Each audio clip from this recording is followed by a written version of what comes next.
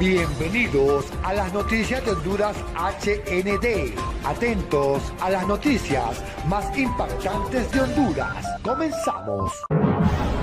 Héctor Leonel Ayala Alvarenga, exministro de Gobernación, Justicia y Descentralización, ha sido acusado formalmente por el Ministerio Público por su presunta participación en una estafa millonaria relacionada con la compra de siete camiones para el cuerpo de bomberos. Estas acciones surgen tras la denuncia realizada por la unidad investigativa. Se han revelado irregularidades en la compra de dichos camiones valorados en más de 80 millones de lempiras, lo que desató una serie de acciones por parte de la Fiscalía Especial para la Transparencia y el Combate a la Corrupción Pública. Además, se inició una investigación exhaustiva que incluyó el secuestro de documentos, interrogatorios a funcionarios de los bomberos, evaluaciones económicas y una revisión detallada de la compra. El Ministerio Público presentó este martes un requerimiento fiscal en contra de Héctor Leonel Ayala Alvarenga, exministro de la Secretaría de Gobernación de Honduras, por la supuesta compra fraudulenta de camiones para el cuerpo de bomberos. Ayala Alvarenga fungió como secretario del Estado en el despacho de Gobernación, Justicia y Descentralización entre 2016 y 2022, durante la administración del gobierno del expresidente Juan Orlando Hernández caso también involucra a sus asesores Wilfredo Cerrato Santos y Héctor Martín Cerrato Velázquez, quienes enfrentan cargo de complicidad en la estafa. El ministro de Seguridad, Gustavo Sánchez, confirmó que Wilfredo Cerrato y Kerin Maldonado ya habrían sido capturados la mañana de este martes. Las investigaciones revelan que Ayala Alvarenga y su equipo habían presionado para, para realizar una compra directa, a pesar de que la empresa no estaba registrada legalmente en el país. Según las acusaciones, Ayala y sus asesores forzaron la operación amenazando con despidos en el cuerpo de bomberos y gestionando transferencias desde las alcaldías del Distrito Central y San Pedro Sula para financiar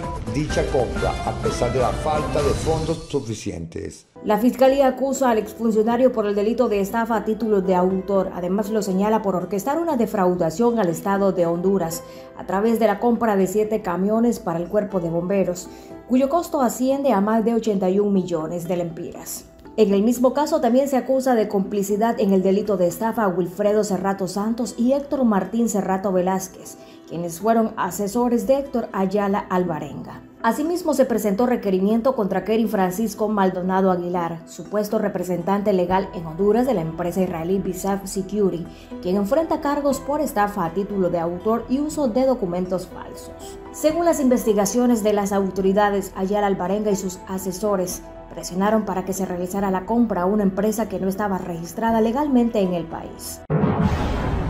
El juicio en materia de privación de dominio contra siete cuentas bancarias del exsecretario de la presidencia, Eval Díaz, se desarrollará entre mañana miércoles 14 y viernes 16 de agosto. La Fiscalía Especial contra el Crimen Organizado, FESCO, presentará medios de pruebas documentales y periciales contra el exfuncionario, contra quien existe un requerimiento fiscal por el delito de lavado de activos y que se encuentra fuera del país. Las cuentas bancarias del exministro Eval Díaz han sido congeladas por un monto, escuche, de cuánto, de 50 millones de lempiras. Y ahí está observando en este momento usted el comunicado que hoy el Ministerio Público ha sacado respecto a este tema y que en su parte toral señala las siete cuentas bancarias que el Ministerio Público pretende privar del dominio de forma definitiva manejaron en su momento un monto aproximado de más de 51 millones de lempiras. Y recordar que el pasado 30 de julio el propio fiscal general, el abogado Joel Zelaya Álvarez, presentó un requerimiento fiscal contra Eval Díaz Lupián y 14 personas más por el mega fraude para el desarrollo de un proyecto habitacional para más de 10 mil familias hondureñas que fue orquestado por el ex alto funcionario del gobierno anterior. El ministerio busca que se dicte una sentencia de comiso definitivo y se ordene la adjudicación a favor del Estado a través de la Oficina Administradora de Bienes Incautados, OABI. Las siete cuentas bancarias en cuestión manejaron en su momento un monto aproximado de 51 millones de lempiras. En el caso por lavado de activos, el pasado 30 de julio, el propio fiscal general, abogado Joel Celaya Álvarez, presentó un requerimiento fiscal en contra de Díaz y 14 personas más por el megafraude para el desarrollo de un proyecto habitacional para más de 10.000 familias hondureñas que fue orquestado por el, eh, por el ex alto funcionario del gobierno de Juan Orlando Hernández. El Ministerio Público participará en un juicio de privación de dominio relacionado con siete cuentas bancarias vinculadas a Eval Yair Díaz Lupián, exsecretario de Estado en el despacho de la presidencia. El juicio se llevará a cabo entre el miércoles 14 y el viernes 16 de agosto. Los fiscales presentarán pruebas documentales y periciales para respaldar la solicitud del Ministerio Público de que se emita una sentencia que confisque de manera definitiva estos activos a favor del Estado de Honduras.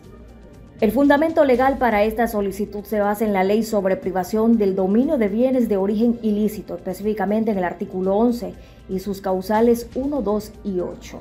Esta ley permite la privación del dominio cuando no se puede justificar la procedencia económica legal de los bienes, cuando hay un aumento patrimonial injustificado o cuando la persona afectada no logra demostrar que los bienes tienen un origen ilícito.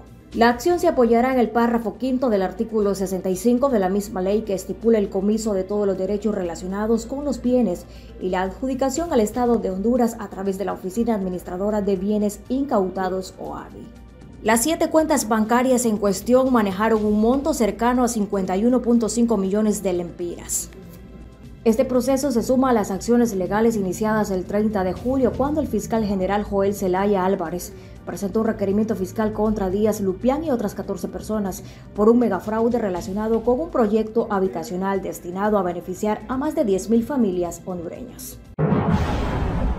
El Ministerio Público de Honduras presentó una acusación contra exministro hondureño de la presidencia, Eval Díaz, quien vive actualmente en Nicaragua, y otras 14 personas por delitos de corrupción asociados a un proyecto de viviendas para más de 10.000 familias. La acusación fue presentada en representación de la Unidad Nacional de Apoyo Fiscal, una. Según la denuncia, el acusado incurrió en delitos como asociación para delinquir, fraude, violación a los deberes de los funcionarios y administración fraudulenta, entre otros. El fiscal señaló que contra los acusados se ha solicitado que se giren las respectivas órdenes de captura nacional e internacionalmente y que se decrete la inmediata alerta migratoria. En el caso del exministro de la presidencia, este reside en Nicaragua desde que culminó el mandato de la administración Hernández.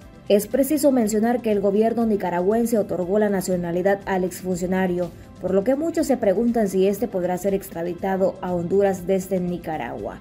En este sentido, el abogado José Antonio Martínez especificó que hay varios mecanismos legales para extraditar a Eval Díaz y que responda ante la justicia hondureña. Existen dos tratados, al menos de mano a boca, dos tratados internacionales en los que Honduras y que también es parte de Nicaragua, explicó el profesional del derecho. Asimismo, el togado aseguró que sí es viable que Díaz Lupián comparezca ante la justicia nacional por los delitos que le imputan. Suscríbete a las noticias de Honduras HND. Déjanos tu like, déjanos tus comentarios y no te pierdas las noticias más importantes de Honduras. Nos vemos en un próximo reporte.